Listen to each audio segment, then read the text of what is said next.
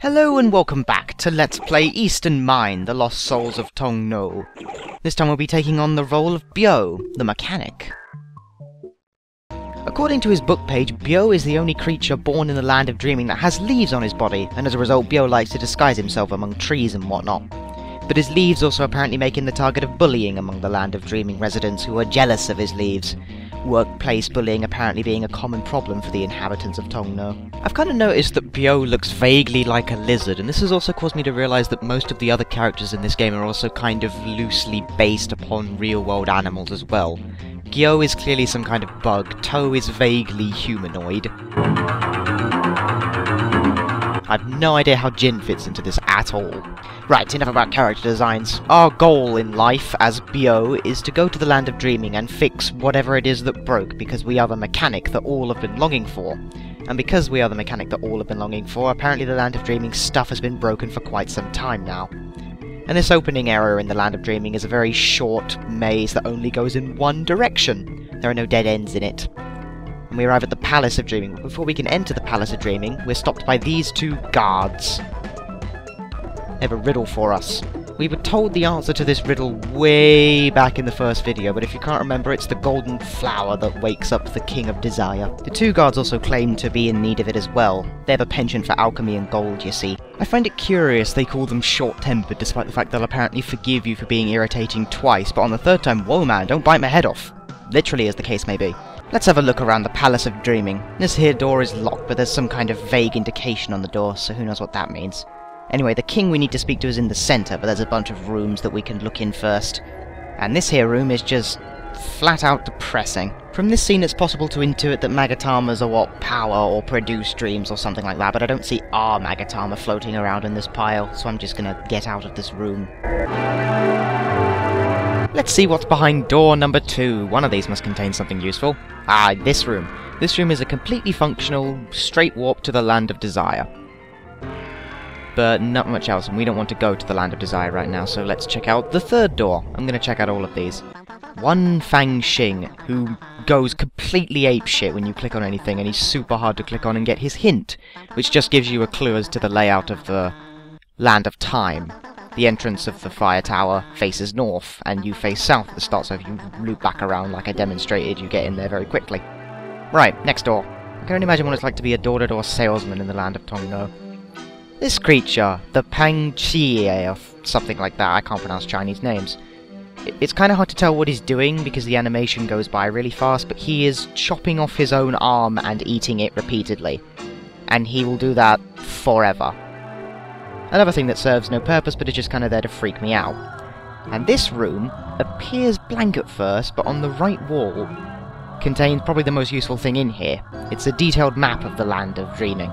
You can see the king is in the centre, you can see a Land of Life warp on the other side, and you can see some of the doors have faces on them, specifically the one that we passed by that was locked earlier. Those are later playable characters, those doors are only of usage to them. This room is very dark at first. Once you click on the wall, characters appear.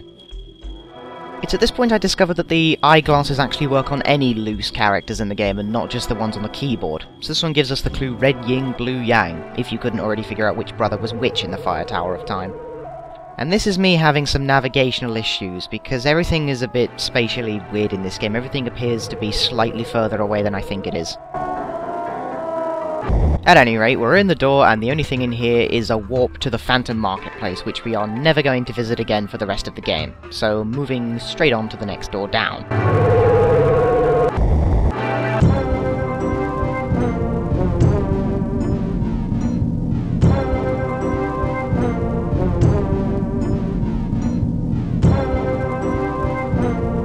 Probably could have figured that one out on my own game, but thanks for the help nonetheless. Next door!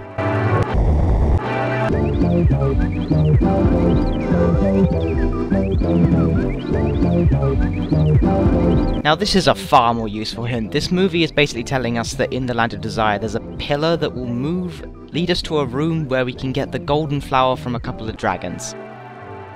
That sounds really stupid when you say it out loud, but that is the solution to the puzzle. And this room is a functional warp to the Land of Life, just like the other one that was a warp to the Land of Desire. Not very interesting. Okay, so this room contains another hint movie, but this one is actually relevant to our current character.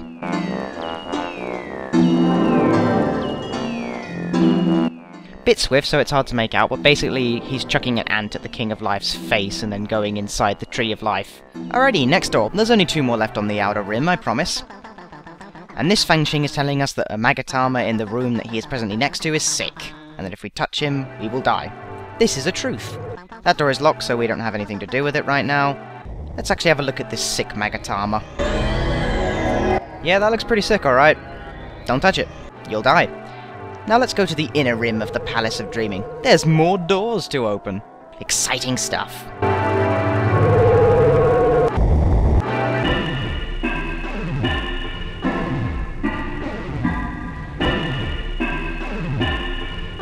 And this hint movie is telling us that if we type the letters Kagyo into the keyboard, we will summon the King of the Land of Time. That's another way to figure out the King of the Land of Time's name if you couldn't already figure it out from the people in the Fire Tower of Time. And this room contains a monster that appears to be dreaming, and he has our water Magatama. But we can't get it right now because if we interrupt his dream, we just get kicked out. We need to solve that problem later. So let's check out the third and final door of the inner rim. Two guards from earlier possess this room, and their musings are going to give us clues, so pay attention. So yes, in spite of it all, something as banal as a peach is used as a weapon in this game. And as you can see from this here piece of dialogue, the two guards, Ung and Ah, believe themselves to be higher creatures. They're a very haughty pair.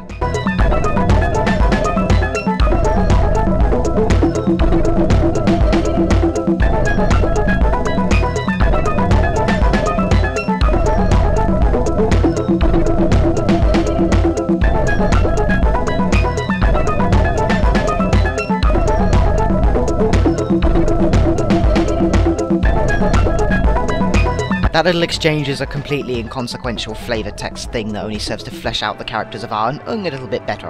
And that was the last door! Finally, we can progress to the center of the Palace of Dreaming now, as soon as I can figure out where the center actually is. One brief check to the sides before we go in the palace door. Nah, nothing to be seen here, just two dead ends. Let's go inside and see what the king actually has to say. Sharp-eyed viewers have doubtlessly noticed the very interesting pink object in the cage over there. We'll figure out how to get our hands on it a bit later, but for now, exposition!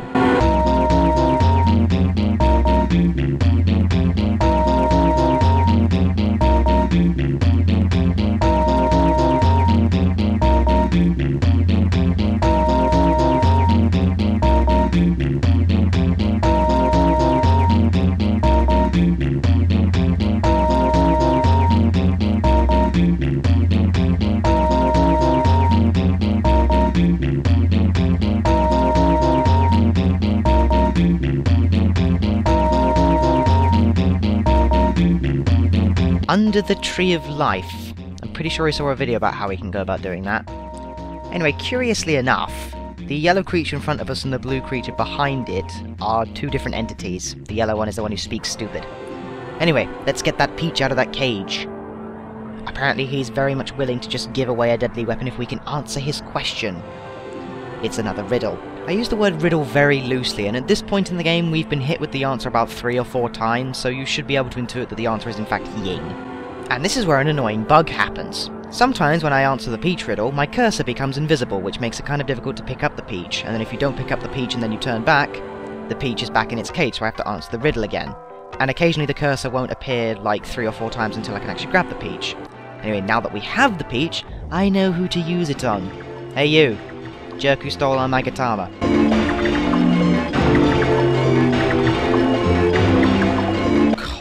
Cold-blooded murder for the peace of our soul. Well, I guess the water Magatama does signify change. Life to death is a pretty significant change. So that's all there is to see in the Land of Dreaming, really. Now we need to go to the Tree of Life, but there's nothing new to see on the way, so I'll see you there.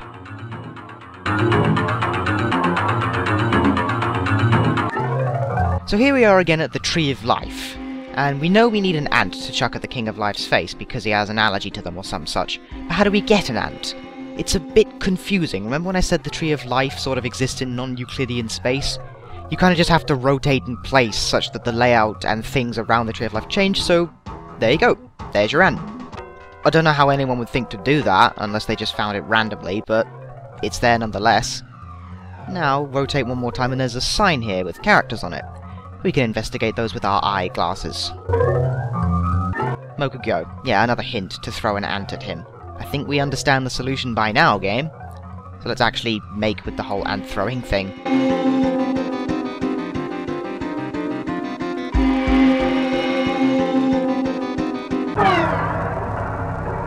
Once the ant has been thrown, you have like a couple of seconds to click on the King of Life's mouth to go inside him. Otherwise, the bird on his head will peck away the ant and you lose your chance and have to go find another ant. It doesn't take very long, but it's annoying nonetheless. Nothing in the lower level here, so we go up turn around, and there's one loose Magatama that's not moving. That is the wood Magatama, our Magatama. So that makes two of the five so far that we've found, making good progress. And this is a strange, strange kind of puzzle coming up here. We have to answer a riddle to get the eyeball of dreaming that we need, you see, but I don't understand the answer to the puzzle at all. This is this broke me. I had to look up a guide to get the solution for this. He asks who the eyeball of dreaming belonged to. You would interpret that it would be Sui Cheng, the king of the land of time, dreaming rather. But that's not the case. It belongs to Togyo, and he is the king of the central mountain of Tong Nou which is weird and confusing because this character hasn't been referenced by anyone, I don't think anyone tells you the solution to this game. I've searched high and low trying to figure out what the prompt is for you to know that solution to the puzzle. I've not found it. I don't know. I give up on that one. I used a guide. Sue me.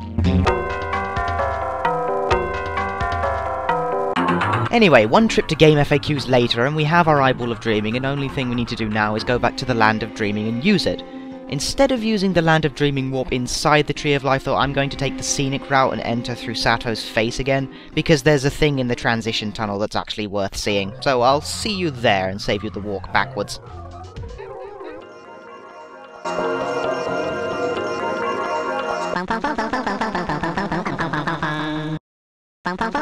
First is this Fang Xing, who tells us that this Amon character is no good. We've not actually seen Amon yet, we'll get to him later and here is an octopus frozen in ice. If we click on him, he suddenly starts sounding off an intruder alert, and then he explodes. Believe it or not, this is relevant, keep it in mind later.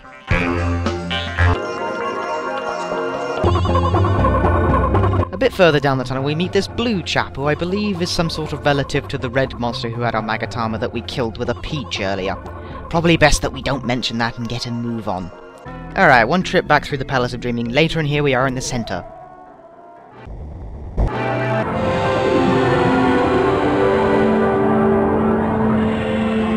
And the last puzzle before Byou's prerequisite ending death speech thing is quite literally use wrench on problem.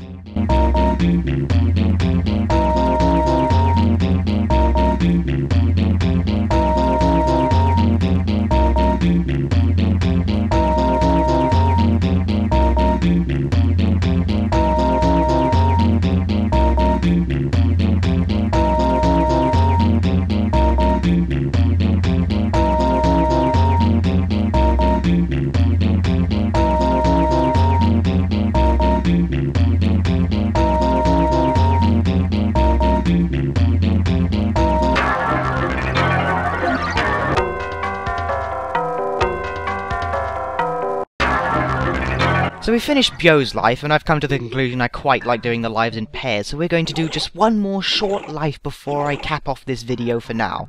We're going to lead the life of Zen, a creature of the land of dreaming. Does he look at all familiar to you? I think you can hazard a guess at where this is going. Sadly, Zen's book page is extraordinarily sparse. What you see is pretty much what you get with this character.